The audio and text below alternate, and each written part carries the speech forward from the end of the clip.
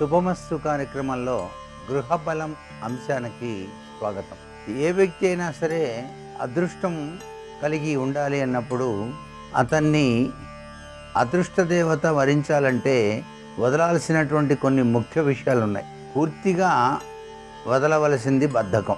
బద్ధకం ఉన్నటువంటి వ్యక్తి దగ్గరకు లక్ష్మీదేవి రానే రాదు. దారిద్ర్య దేవత దగ్గరికి వస్తుందని శాస్త్రం. అందుచేత ఎప్పుడు నిరాశ నిస్పృహ కృంగిపోవటం నా వల్ల కాదులే అనుకోవటం ఈ లక్షణాలన్నీ కూడాను లక్ష్మీదేవి దగ్గరికి రాకుండా ఉండేటువంటివిగా మనకు శాస్త్రాలు చెప్పాయి. అందుచేత ఎన్ని అవాంతరాలు వచ్చినప్పటికీ కూడాను స్థైర్యం ధైర్యంతో నిలబడి నాకు భగవంతుడు ఉన్నాడు అనేటువంటి భావంతో ముందడుగు వేస్తేనే విజయసిద్ధి సాధిస్తాం. అందుకే అష్టలక్ష్మిలో ధైర్యలక్ష్మికి విశిష్టవంతమైనటువంటి స్థానాన్ని ఇవ్వడం జరిగింది. లక్ష్మీ కళ ఎవరిలో ఉంటుంది అనే విషయాన్ని గనక మనం చక్కగా పరిశీలన చేసినట్లయితే పండితుల్ని దైవంగా భావించేటువంటి వారు అలాగే ముత్తైదువులు ఎటువంటి దుష్ప్రవర్తన లేనివటువంటి వారు నిత్యం దైవార్చనతో కాలం గడిపేటువంటి వారు యోగ సాధకులు సత్ప్రవర్తన కలిగినటువంటి వారు వీరందరిలో కూడాను కళ అనేటువంటిది కొలువై ఉంటుంది. అదే లక్ష్మీ కళ అంటారు. సాక్షాత్తు శ్రీ లక్ష్మీదేవి తప్పనిసరిగా అనుగ్రహాన్ని ఇస్తుందన్నమాట. లక్ష్మీ కళ ఉట్టిపడుతోంది అంటే ఆ వ్యక్తి దగ్గర ఈ లక్షణాలు ఉన్నాయి అన్నమాట. సత్ప్రవర్తన సద్విశ్వాసం సత్సాంగత్యం ఇవన్నీ కూడా ఉన్నటువంటి వ్యక్తి గొప్పవాడుగా ఉంటాడు అని లక్ష్మీదేవి మనకు తెలియజేస్తుంది. అలాగే అన్ని విధాలా కలిసి రావడానికి సహజసిద్ధంగా ఆది మధ్యాంతర్వర్తి నారాయణ అని చెప్పేసి ఆ స్వామి సత్యనారాయణ స్వామి వారికి వ్రతం ఆచరిస్తూ ఉంటాం. కాస్త మనకి కలిసి రాకపోతే పౌర్ణమి తిథిని చూసుకొని సత్యనారాయణ స్వామి వ్రతాన్ని చేసేటువంటి సాంప్రదాయం గృహప్రవేశ అనంతరం కూడాను మనం తప్పనిసరిగా సత్యనారాయణ స్వామి వారి యొక్క అనుగ్రహం కోసం వ్రతాన్ని ఆచరించి భోజనాలు అనేటువంటివి కూడా పెట్టడం జరుగుతుంది.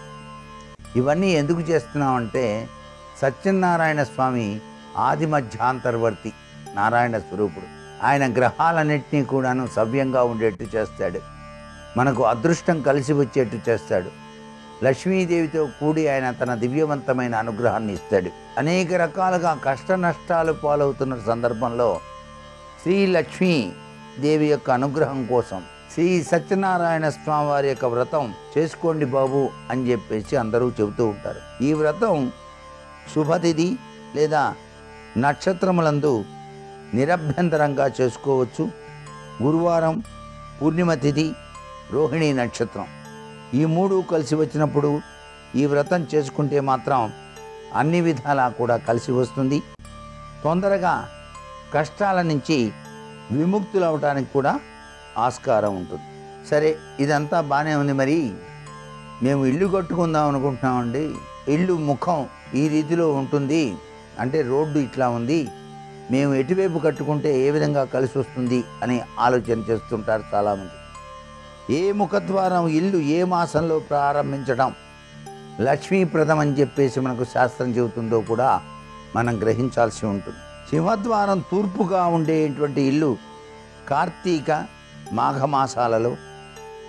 దక్షిణ సింహద్వారం ఇల్లు పాల్గొన వైశాఖ మాసాల్లో. పడమట సింహద్వారం ఇల్లు వైశాఖ శ్రావణ మాసాల్లో. ఉత్తర ద్వారం కలిగినటువంటి ఇల్లు కార్తీక శ్రావణ మాసాల్లో కట్టడం లక్ష్మీప్రదము అని చెప్పేసి మనకు శాస్త్రాలు తెలియజేస్తున్నాయి. మాసాల రీత్యా వాస్తు పురుషుడు నిద్రించేటువంటి విధి విధాన రీత్యా మనం ఈ మాసాల్లో ఆ సింహద్వారం ఉన్నటువంటి ఇంటిని నిర్మాణం చేస్తే మంచిది అని చెప్పేసి శాస్త్రం. అలాగే మనకి కేవలం లక్ష్మీ కటాక్షమే కాదు సరస్వతీ కటాక్షం కూడా ఉండాలి. సరస్వతీ కటాక్షం ఉన్నప్పుడే లక్ష్మీ కటాక్షాన్ని సద్వినియోగం చేసుకోవడానికి ఆస్కారం ఉంటుంది. కేవలం లక్ష్మీ కటాక్షం ఒక్కటి ఉంటేనే చాలదు.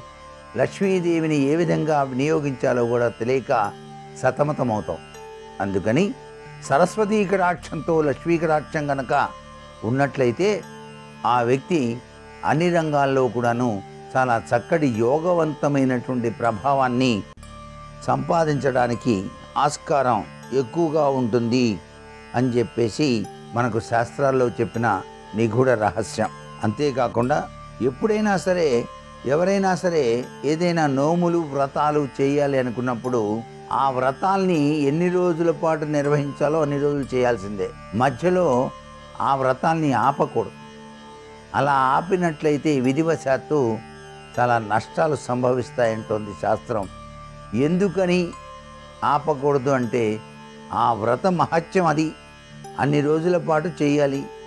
అన్ని ఏళ్ళు నిర్వహించాల్సిందే అని చెబుతుంది. ఇప్పుడు సౌభాగ్య వ్రతం మనకి తప్పనిసరిగా ఐదు సంవత్సరాల పాటు చేస్తారు. మనకి శ్రావణ మాస నోములు అని చెప్పేసి. ఐదు సంవత్సరాల పాటు నోస్తే అయిపోతుంది. అలా నోచిన వాళ్ళకి ఐశ్వర్యం లక్ష్మీదేవి కటాక్షం వచ్చి తీరుతుందన్నమాట. సుసంపన్నత కలిగి ఉంటుంది. అలా వ్రతాలు నోములు కూడాను మన భారతీయ సంస్కృతిలో లక్ష్మీ కటాక్షానికి నిదర్శనాలుగా ఉన్నాయనే విషయాన్ని మనం గ్రహించాలి.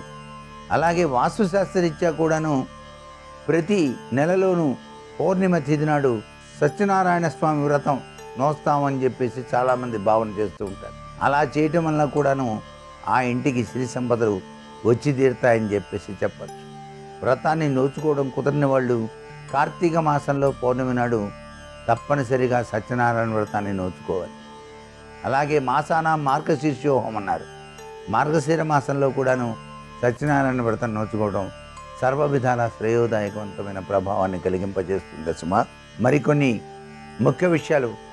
రేపటి శుభమస్తు కార్యక్రమంలోని గృహబల అంశంలో తెలుసుకుందామా మరి? సర్వే జన